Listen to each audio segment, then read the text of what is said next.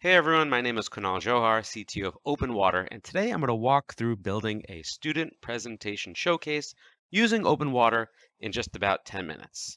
So the workflow we're trying to solve here is a capstone project, typically in an engineering school, where students work for one or two semesters, either as individuals or as a group, to work on a hard challenge, and then at the culmination of that, they present their findings, their project, maybe an invention, to their class at large, perhaps professors, perhaps the dean. So let's talk through building that in OpenWater. Here we are in OpenWater. We're in the practice environment, which is freely available to everyone who wishes to learn. And I can search for Student Project Showcase.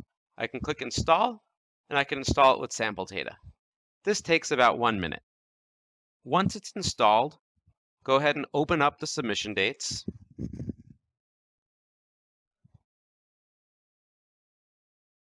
And then we could submit a test application as if we were a student team. So let's go ahead and do that together. So here I'll say, maybe I'll pretend I'm Thomas Edison and I've worked hard all year on a new kind of light bulb.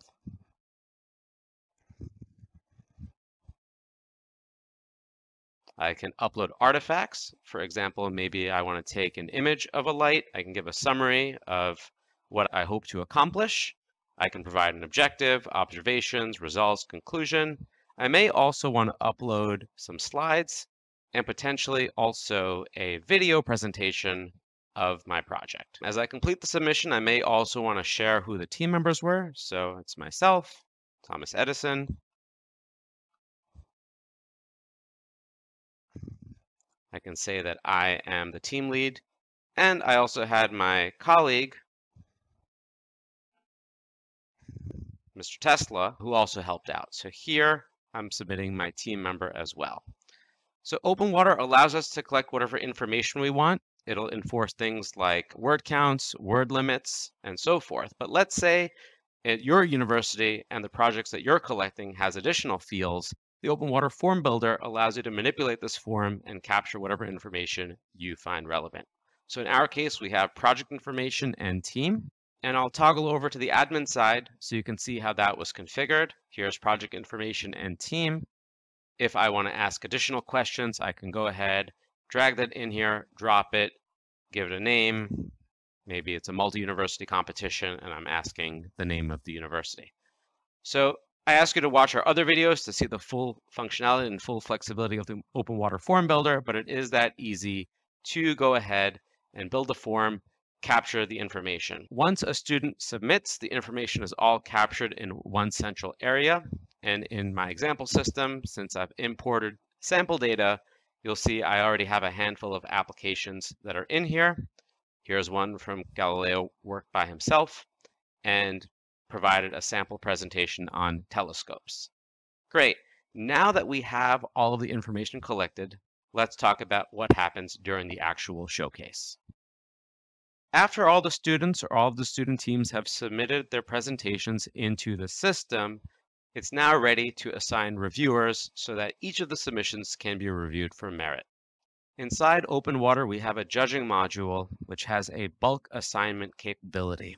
An example of this may be if you have a student presentation showcase where you have different engineering departments submitting. Perhaps you have some professors that are electrical engineering experts they should only be judging the presentations for students that are electrical engineers. Uh, perhaps you have a computer science department. You want to assign only the computer science presentations to the computer science professors. So the bulk assignment system allows you to denote rules to ensure that all of the presentations are assigned to the judges capable of judging them. If there are lots and lots of presentations and it's impossible for all of the professors to view all of the presentations. There's also the support to ensure that each presentation is reviewed a minimum number of times, or perhaps you have a lot of judges and you want to ensure there's fairness of the workload. You can say that each judge must review a certain amount of presentations. For our demo though, we're just going to assign everything to me. I am the only judge and we have four presentations ready for my assigning. Great. Now that everything has been assigned, the student showcase presentations can begin. The student presentations are often organized in a sort of day and time order. and presumably each of the professors can have their laptops out or an iPad out that has all the student presentations ready to go. So here we have Elon Musk. He's the first presenter. He'll be presenting finding unlimited resources in space. So all of the professors can then toggle on their laptop or iPad into view application.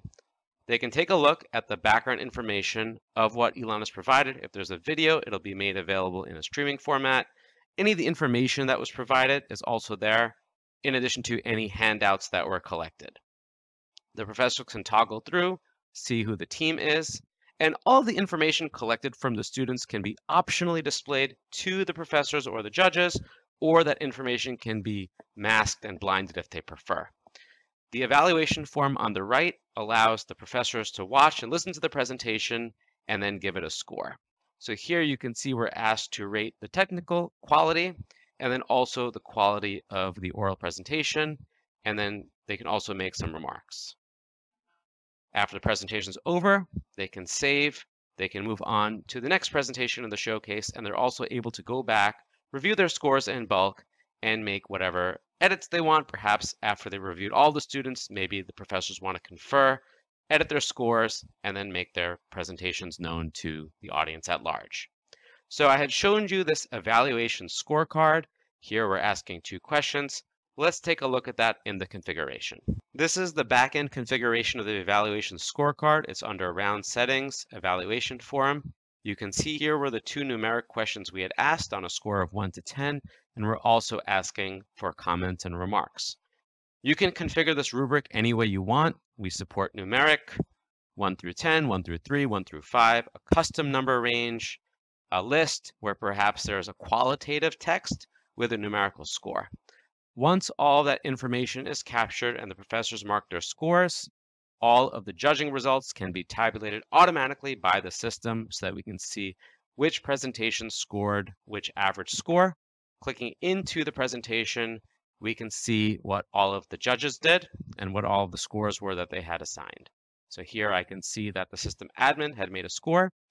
I can then click into edit scorecard and take a look in a read-only format what that particular judge did. So as an admin, you have full control over the questions you ask, the rubric that's presented, and then you can also view all of the data. You can have the data tabulated, and of course, everything can be exported as well. Great, the students have completed their presentations, the professors and the judges have marked their scores, perhaps some students have been awarded scholarship or merit, but what do we do with all that information we've captured? That same gallery you saw judges use to fill out their evaluations can also be made open to the general public. Students can have a permanent page which shows their student presentation, which they can then use on their resumes for perhaps job applications, perhaps they're applying to grad school, and also for your own university or your own organization that's running this, you have an archive for future generations so that they can look back and they can see what students did that was considered innovation in that point in time. For the next year students, it can create a little bit of excitement for what people did last year. It can give people ideas. And then 10 years from now, people can see how far technology has come in terms of how some people's student projects will actually be products people are using day in and day out. So let's take a look at that gallery next. Under round settings, you'll see application gallery. You'll see there's all sorts of configuration that our training goes through, and there's also the opportunity for having a public vote. I'll cover that momentarily. You can see here we can configure the gallery to show thumbnails and information captured from the form. We can also pick and choose if we want to show videos and if we want to only show certain fields from the form versus all of them. So let's take a look at that public gallery. You'll see in the public gallery, we can show all the submissions. We can then go in and view the submissions similar to how a judge could. Here we can see the full information along with any PowerPoints that have been uploaded. And in that first presentation, we also had a video. So the video is available here in a streaming format along with the rest of the information that was submitted. So you'll see here the vote for this application. Uh, the system also has an optional public vote module. This way, if perhaps you have a first round of judging where the professors cast their scores, maybe there's a, a group of finalists where you want to have other students nominate and show off and perhaps get votes for their own application. That data is also captured and tabulated within OpenWater. So I want to conclude by saying everything I've covered in this video, you can learn. Just go to learn.openwater.com. We provide free learning instances of the software, and you can take your own university's student product showcase. You can build it in your learning environment, as you can see here in under 10 minutes, present that to your colleagues, modify it, and then you could put it into your real world or production copy of OpenWater whenever you're ready. Thank you very much.